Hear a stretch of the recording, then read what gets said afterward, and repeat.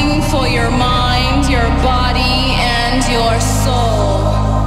A journey of force, hot like the sun and wet like the rain. Pleasures of the highest.